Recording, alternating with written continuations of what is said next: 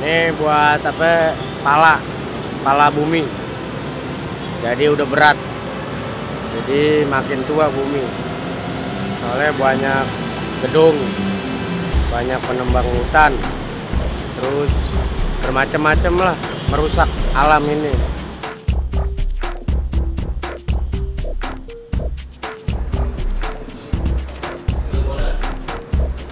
band band band band itu yang lakson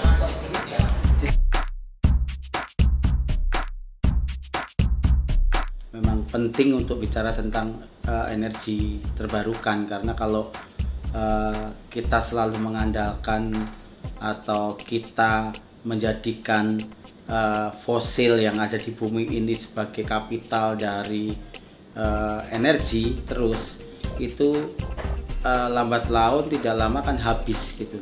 Kesadaran masyarakat masih minim akan bahaya-bahaya energi konvensional terutama batu bara yang selama ini masih dijadikan sebagai uh, sumber energi prioritas oleh negara kita. Uh, pertama sebenarnya ketergantungan kita terhadap energi kotor ya selama ini batu bara yang fossil fuel itu kan memang uh, kita tahu dampak buruknya uh, baik terhadap apa namanya uh, lingkungan hidup maupun uh, dampak lain misalnya dampak turunannya dari uh, batu bara misalnya sebagai salah satu uh, apa namanya komoditas yang eh, komunitas energi untuk apa yang kotor gitu ya.